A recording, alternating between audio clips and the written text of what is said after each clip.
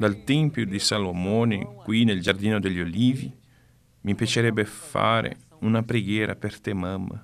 Tu, mamma, che hai pianto per il tuo figlio, per tua figlia che purtroppo non ti considera, non accetta i tuoi consigli, né i tuoi riproveri, e ancora ignora il fatto di aver bisogno di cercare Dio, pensando di non aver bisogno perché sono giovani, con salute, intelligenti, forti. Loro pensano di non aver bisogno di Dio, quando la verità è che tutti, assolutamente tutti, abbiamo bisogno di Dio. Per te, mamma, che hai pianto continuamente, per i tuoi figli, io voglio che lei sappia che Dio vuole asciugare le tue lacrime.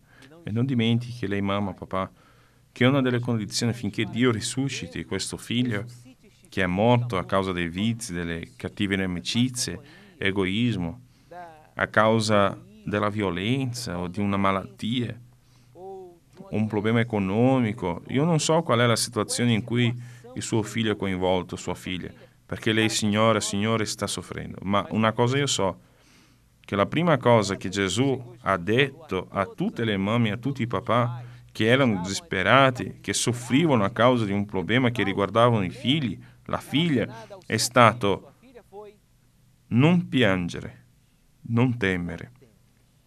Allora, mamma, papà, io vi dico non piangete, siate forti.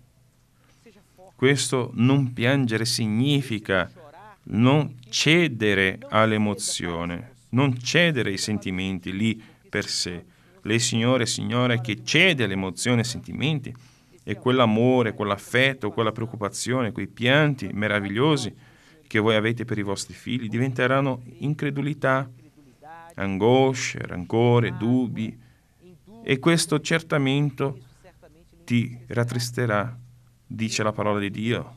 Oh Signore, tu esaudisci il desiderio degli umili, tu fortifichi il loro cuore, porgi il tuo orecchio. Dio provvederà a lei, mamma, Dio provvederà a lei, papà.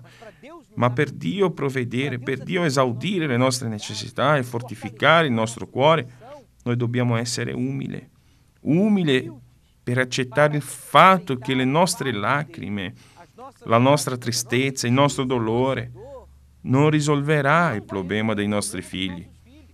Ma ciò che farà i nostri figli siano liberi, siano benedetti, siano salvi, è giustamente che lei, signora, lei, signore, io e tutti noi che siamo genitori dobbiamo avere fiducia che Dio ascolta la nostra preghiera. E Lui esaudirà le nostre necessità che abbiamo come genitori perché Lui sta vedendo in lei e in me l'umiltà.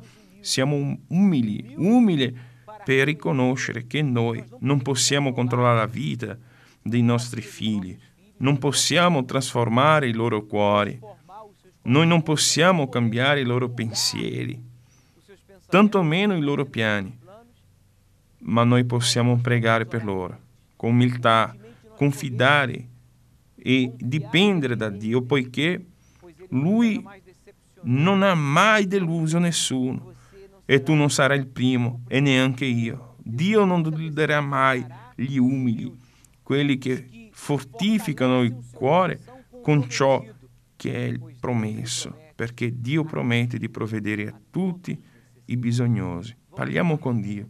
Mi piacerebbe che lei, mamma, lei, papà, se è possibile, di avvicinarsi al televisore, al computer, che mettiate le vostre mani sulle mie mani.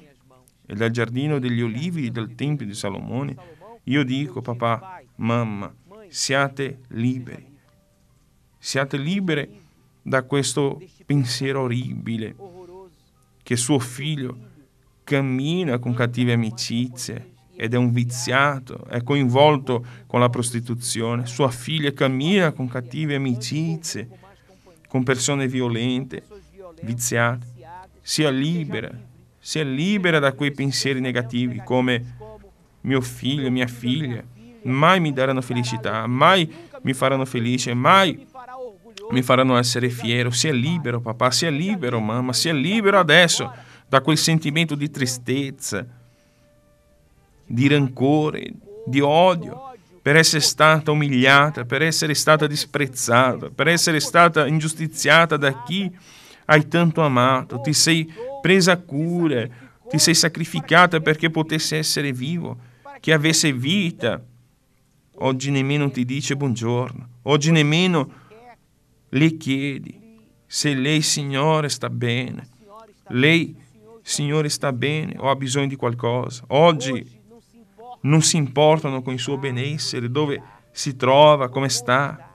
Sei libero adesso da tutti questi sentimenti, da amarezza, tristezza, solitudine, nel nome del Signore Gesù, che esca ora dalla tua mente, esca ora dal tuo cuore, esca da lei adesso quello spirito di angoscia, paura, quello spirito di rancore, odio, per tutto ciò che lei, Signore, ha sofferto, per tutto ciò che lei, Signore, ha sofferto. Mio Padre, mio Dio, metti le mani sul tuo cuore, mamma, papà, e dite, io consegno nelle tue mani la mia vita e la vita dei miei figli. Dite il nome del vostro figlio, vostra figlia. Dite a Dio, mio Dio, io non posso cambiare il suo cuore, cambiare il suo carattere, i suoi piani, ma tu, Signore, puoi. Quindi adesso, in questo momento, tramite questa preghiera con il vescovo del giardino degli olivi nel Tempio di Salomone, visita mio figlio, visita mia figlia e strappa via quel cuore di pietra, quel cuore orgoglioso, prepotente, incredulo, egoista, fanatico, quel cuore materialista e dà al mio figlio, a mia figlia un cuore umile, un cuore sincero, grato a te e ai genitori, un cuore che ti dà obbedienza a te. Oh mio Dio, salva questa famiglia, salva questa casa. Mio Padre, fai in modo che ci sia comunicazione tra i figli e i genitori, fai in modo che ci sia rispetto reciproco Fai in modo che ci sia gratitudine. Fai in modo che questa figlia, questo figlio d'ora in poi, si converta a te e valorizzi i suoi genitori. La tua promessa, mio Dio, verso gli umili è che tu, Signore, esaudirai i nostri desideri. La promessa del Signore è che questo papà, questa mamma, che confida in te, vedrà la sua famiglia ai tuoi piedi. È ciò che noi determiniamo qui nel Giardino degli Olivi, nel Tempio di Salomone. Le mamme e i papà che piangono, smettono di piangere e iniziano a sorridere. Vedi amica, amico, immaginatevi adesso con i vostri figli. Immagini ora suo figlio, sua figlia che abbraccia, le bacia e gli dice papà grazie per non aver mai rinunciato a me. Mamma grazie di aver pregato per me. Mamma, io ti amo si immagina adesso abbracciata suo figlio, sua figlia, e lo stesso dicendo grazie di aver lottato per me, di cercare Dio per me, perché oggi io sono libera, con salute, felice e realizzata, grazie al tuo esempio come padre e come madre. E tutti i genitori ripetete, io sarò un papà felice, una mamma felice. È proprio così. Non è stato e non saranno in vano le nostre preghiere. La nostra credenza in Dio, Lui la fortifica adesso lì dove si trova. Lei riceve la pace, l'allegria, l'amore, la forza e l'animo e la disposizione per essere una madre migliore, un padre migliore e per fare solo ciò che lei può fare come padre come madre. Allora, non pensare che è stato, che sta essendo o che ogni sforzo sarà in vano, perché non lo è stato e non lo è e non lo sarà, poiché la nostra ricompensa sarà vedere la nostra famiglia unita ai piedi di Gesù. Se ti è stato d'aiuto questa preghiera, questo messaggio, allora lascia il tuo commento su yurtv.eu o chiamaci al nostro amico 24 ore e condivide con noi il tuo superamento, la tua realizzazione. Il numero è 02 45 49 49 40. A domani.